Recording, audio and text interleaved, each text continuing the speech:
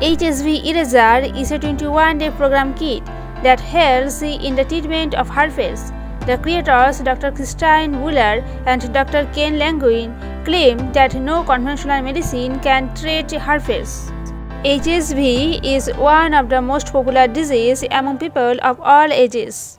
This disease is one that can affect every single age.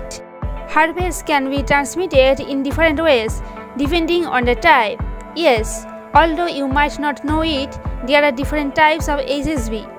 Regardless of the type, one thing that they have in common is that it is quite difficult to get rid of. Many studies have been made to remove it from the body, with no success. Well, the HSV drug claims to help to remove it from the body and provide a permanent cure. To know more, go to the description box.